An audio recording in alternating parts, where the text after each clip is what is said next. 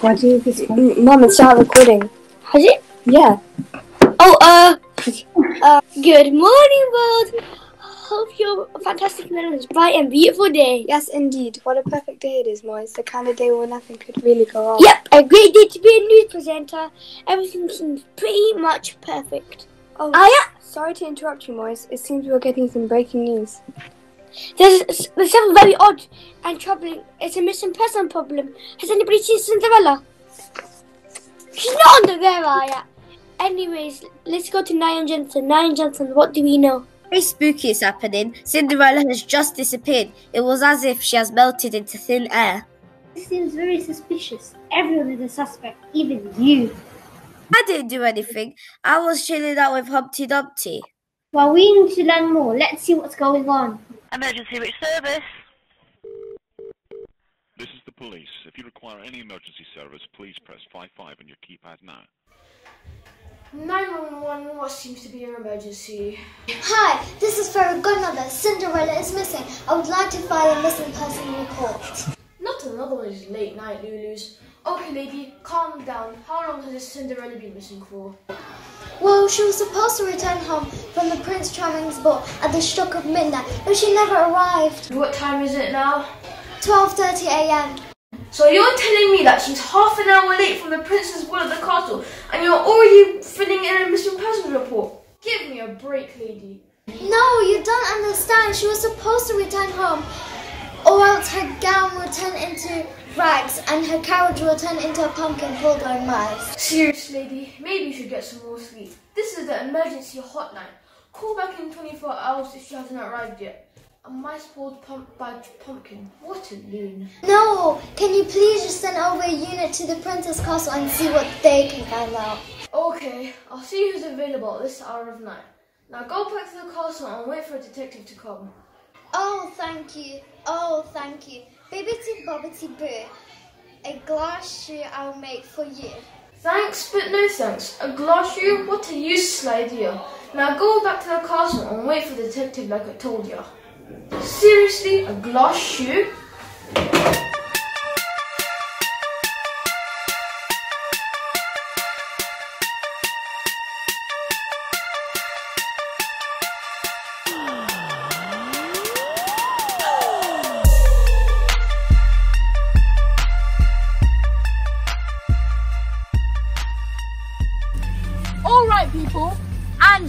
And non-people, whose party is this? Yeah, whose party is this? This is the Prince Charming's annual ball.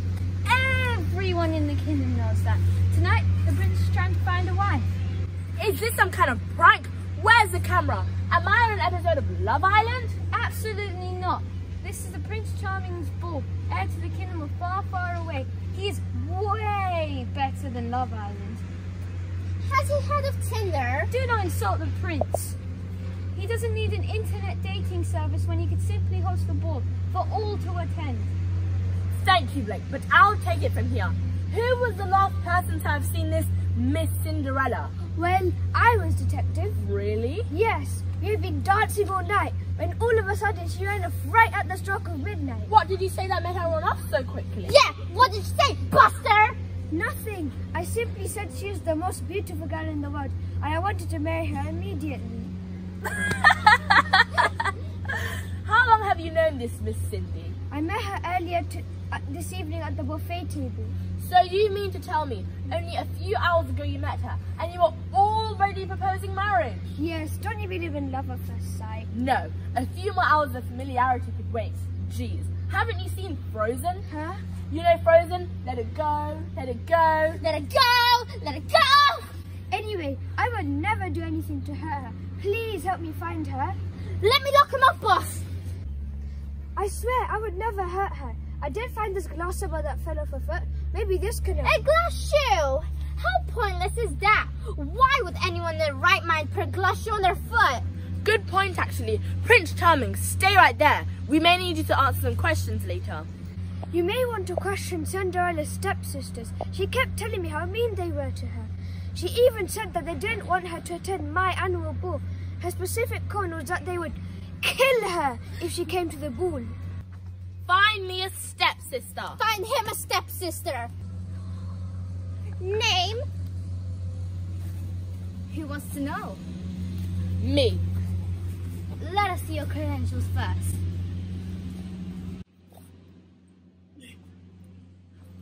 The name's Florinda. Mine is Lucinda. Okay, Florinda and Lucinda, where were you when this Miss Cindy disappeared? I was over there by the punch bowl waiting for my chance to dance with the prince. Did, Cindy and Prince Charming dancing make you jealous? Of course not. I already have a boyfriend. His name... His name is... Alberto, but he lives in a different kingdom. Well, I have a source that says you would kill her if she came to the ball. Your source is Prince Charming. I was standing right behind him when he said that to you. However, that is not what I said. What I said is, was, I would just die if Cindy came to the ball. Why would you say such a thing? Yeah, why would you say such a thing? Okay, so she said it because, right, Cinderella is always like cleaning up the house. She's always like looking after us. She never does anything for herself. I mean, it's kind of annoying, right? Yeah. I mean, she's always like, uh, we always say, um, oh, leave, us, alone. Or, um, Go and have go some and fun. have some fun. But she's always like, oh no, let me just finish sweeping up. Or, mm, I'll go to bed when I finish mending your dress. Or, I mean, You get you the get the idea. idea. So you have no idea why she would run off at midnight for no reason? No. Uh, maybe she had a souffle in the oven or something? Hey boss, look who I found howling in the wolf while she was grilling Florinda. Well, well, well. If it isn't the big bad wolf. Why does everyone keep calling me that? Are you big? No, not really. Kind of average size. Are you bad? No, not at all. Are you a wolf? Of course I'm a wolf. Ha! So admit it. You are the big bad wolf. Anywho, where were you this evening around midnight? I was having dinner with Little Red Riding Hood. Yeah, right, and I'm LeBron James. Well, Detective James, that's exactly where I was. You expect me to believe that you, the big bad wolf, were having dinner with Little Red Riding Hood? Yes, I was, but I'm not big or bad. You certainly oh, are not big or bad. I was having dinner with her. I swear, you see, her grandmother took the overnight bus to the casino, so we finally had the place to ourselves. I was planning on proposing to her. You were? You were? I was. Oh, Wolfie. I was. Oh, Wolfie. Let's see the ring. Oh, yes. Let's see the ring. Oh, Wolfie, it's beautiful. Yeah, yeah, it's beautiful. Woohoo! Good for you. That still doesn't mean you can have eaten Granny on your way to a little dinner proposal with Little Red Riding Hood. I would never eat her. Yeah, right. It's true, Detective, because Wolfie is a vegetarian. What? Vegan, actually. I have been ever since I googled how hot dogs are made. I do not believe in cruelty towards animals, humans included. Well then, why did I see you running away from Little Red Riding Hood's grandmother's house, howling like you were in pain? That's because a man came by the house, looked through the window. Whilst we were eating our porcini Rob's tofu salad, the man had a big knife and blood all over his clothes and said he was going to give it to me. What did you do? What do you mean what I do? What would you do if a, big, if a strange man came to your house with a knife and blood all over his clothes? I would use my exclusive officer training, disarm him and pin him down. Well, I do not believe in violence, but I am a good screamer. So I ran out screaming, but the man kept chasing me, shouting, This is for Granny! This is for Granny! I had no idea what he was talking about, but he kept chasing me whilst brandishing the huge knife. Well, Wolfie sounds true. I followed after them. I was trying to tell this man that me and Wolfie were friends. Well, more than friends are actually. However, I couldn't keep up with them and lost them somewhere in the woods. And then I saw a figure. I thought it was a knife wielding man, but then I, I found I then I realized it was a young girl. Come to think of it, she did have blonde hair like Cinderella. Um, she went into the house over there. I would have followed after her, but I was too worried about Wolfie. Eventually, he cornered me, and I thought I was a goner, but that's when I did what I do best. You ate him? No, I'm not a barbarian. I howled at the top of my lungs. That must be when I found the wolf. I can confirm I did see a man run as I approached. And there he is, right there. Find the butcher!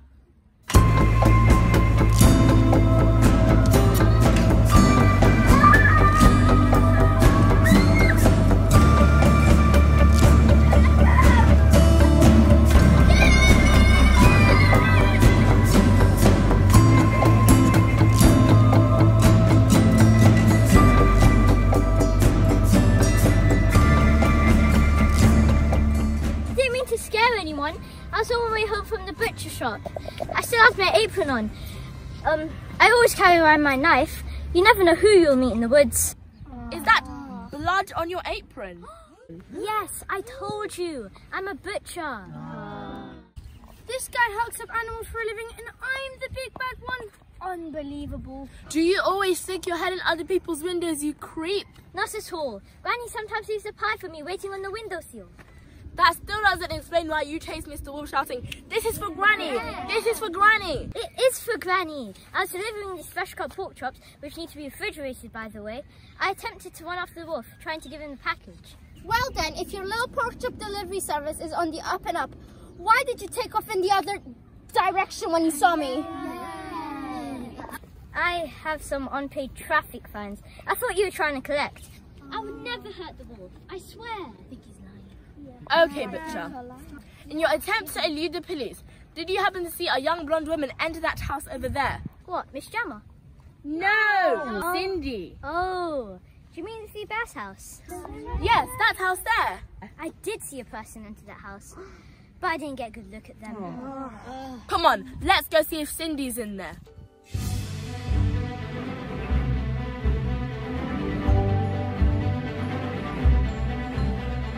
Open up! It's the police! Yeah, open up! Or half, and up half, and out! What is wrong with you? Too soon? Yes! Everyone, step back. I'm gonna kick the gate in.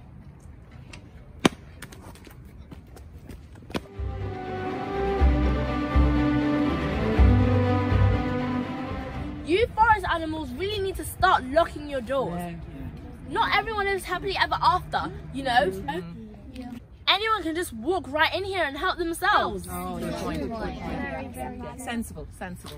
What are you all doing inside my house? We saw a young blonde woman enter your house. We have reason to believe she might be the person we are looking for. You mean Miss Gemma? No! Cindy! How did you even get in? Baby Bear, did you forget to lock the door again? It's not my fault. Everyone was washing me. It's okay. You know how Papa Bear gets on Black Friday. Got to be first in line. Obviously, the big, flat, the 60-inch flat screen TV we bought last year isn't big enough. I ain't gonna watch West Ham win the Champions League on that tiny screen. That's because West Ham aren't going to win the Champions League. I'm forever blowing bubbles,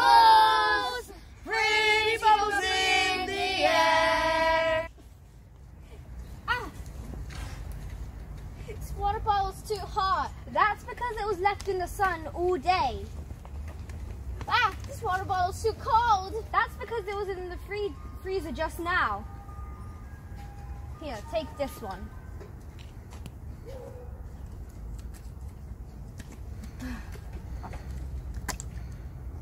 Is this guy seriously a police officer? He's in training actually. He's my wife's nephew. You're married? Yep, 15 wonderful years. Too bad. I'm not married. I kind of figured that. Put the bottle down. We have a missing person to find. Papa Bear, lead the way.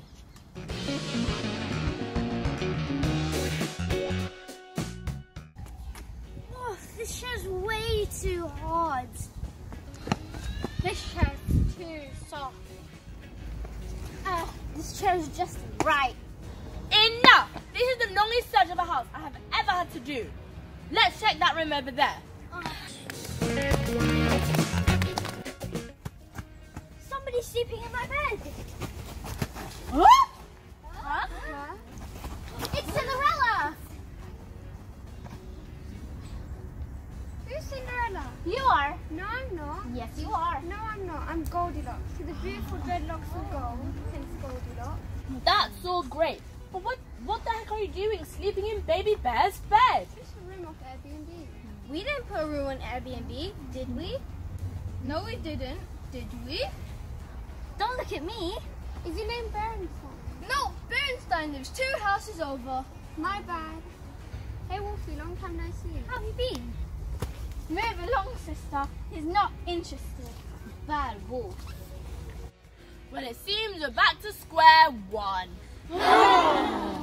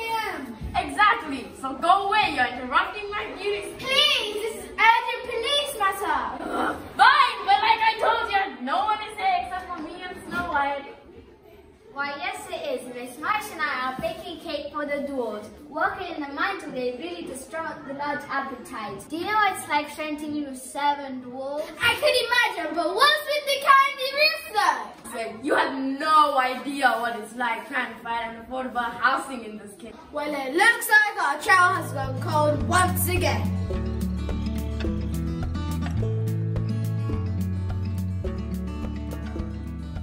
Do you know the Muffin The Muffin Man? The Muffin Man! Do you know the Muffin Man? The one who lives in Drury Lane? Yeah, mm. that's the one. Yes, what? Next door there lives this beautiful young woman and her appalling husband. I mean, come here, you beast. Can't you smell? Oh, yes, completely vulgar. No idea what she sees in him. He's one of those broody types. Like, let me talk. Oh. An insurance salesman. Oh,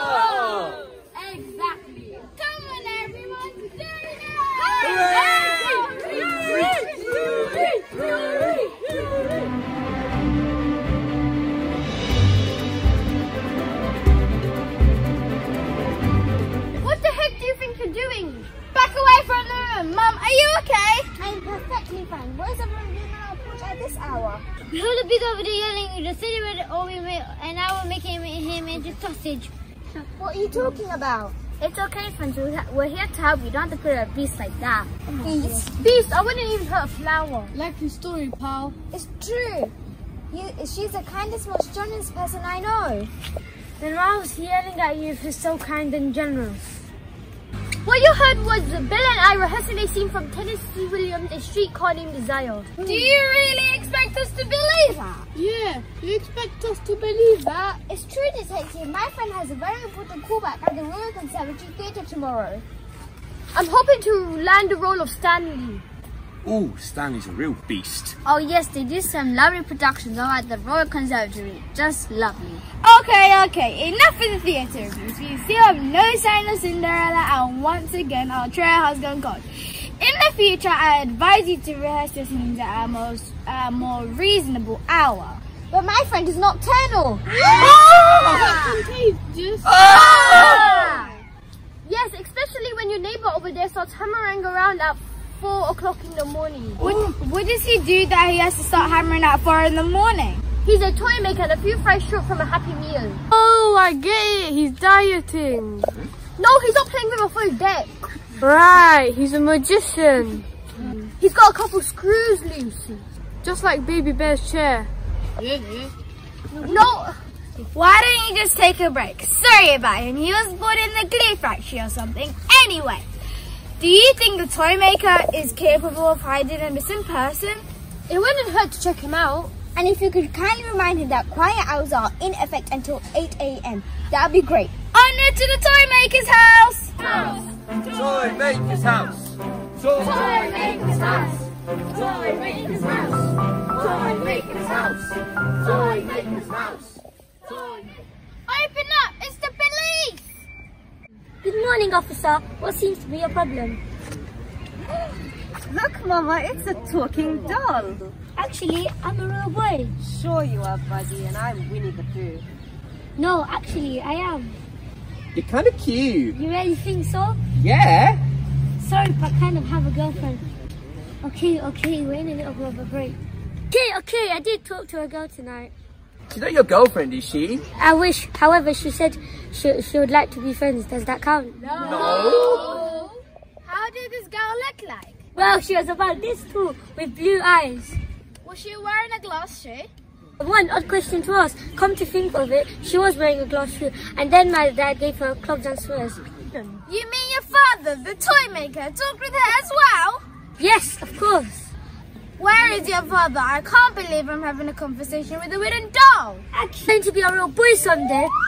Hmm? Sure you are, buddy, and I'm gonna be an NBA All-Star. Anything can happen when you wish upon a star. Sure, kid, whatever. Where's your old man? Did you just call me a kid?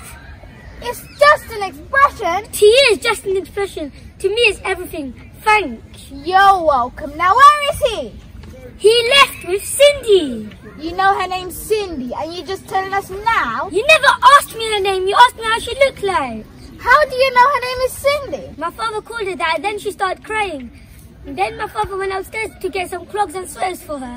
Which way did they go? Why don't you ask them yourself? I wish I could. See, wishes do come true. Here they come! Stay where you are! Put your hands in the air! Let's get them! Yeah!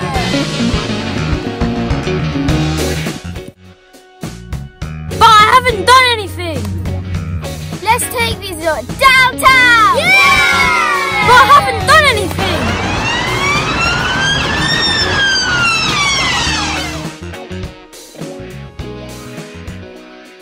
What did you do to Cinderella? She's dead. Hold on, what I was about to say is she's dead tired. See for yourself. Cindy, are you awake? I am now. Who the heck are you? Florinda, what are you doing here? We've been searching for you all You night. really, really like me? Of course I do. What can I say? He does that with any lie. Okay, fine. I was just finally hoping to get some alone time with Prince Charming. You were? I was. I've been wishing to dance with you since we were kids. Why have you never said anything? Oh, I thought you might say no, and, and then we wouldn't get to dance together. Oh, Lucinda. You mean Florinda? What did I see? Lucinda. Oh, Florinda, make my dream come true and be my life. Boy, this guy moves fast. Now we got that out of the way, can we please get back to the investigation? First of all, why the heck did you use the ball so fast? I can answer that. I made it so that at the final stroke of midnight, the beautiful gown she was wearing would be turned back to rags, and the carriage that brought her to the ball would be turned back into a measly little pumpkin. Why would you ever do that to a girl? I don't know, it's kind of my thing. You're the one who's about to marry a wolf, and I'm the strange one. You're both strange, however, that's not the reason I ran from the prince. Then why? Yeah, why? Not that I care, but why? I ran because he was a stupid, spoiled brat and wouldn't stop talking about himself. I don't really care what you own because nobody wants to know. Did you know he asked me to marry him and the only words I said to him were, Hi, my name is Cinderella, but most people call me Cindy. Talk about desperate. No offense, Florinda. Oh, none taken. So then what happened? Well, when Prince over here got down on one knee, I knew I had to make my escape, so I did the oldest trick in the book. He played dead. No, I said, look, a unicorn, and I'm pointing behind him. Where, where, where? When he turned to look, I ran out. The castle was on fire. I could have outrun him if not for these useless glass slippers. Do you know how hard it is to run in sweaty glass slippers? Okay, okay, I get it. The glass slippers are a bad idea. See what you get for trying to think outside the box. Luckily, the sweaty slippers slipped off my feet and I was able to get into the forest. I just kept running until I came upon this little toy shop where I heard the most beautiful singing. Give me nice singing.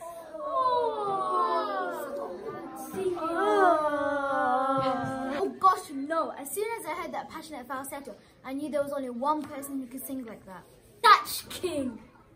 Who? Never mind. The voice I recognized was of my grandfather Geppetto. As soon as I saw her at my front door, I knew she was my long-lost granddaughter, Cinderella. I immediately started crying and fell into his arms.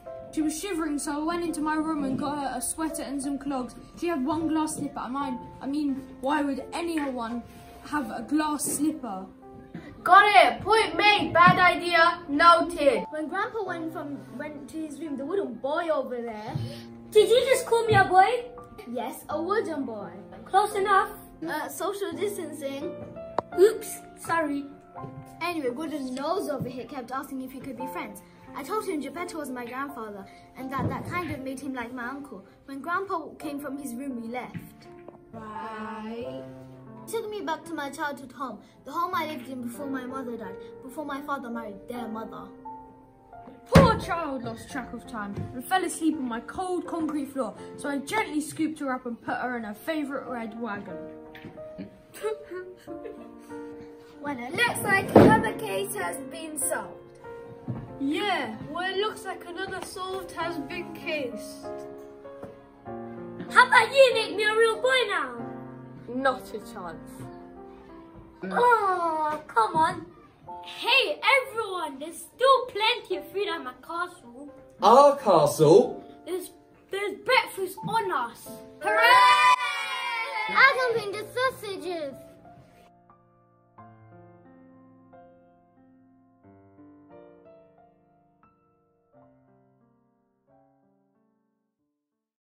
To the studio. Oh, thanks, Jensen.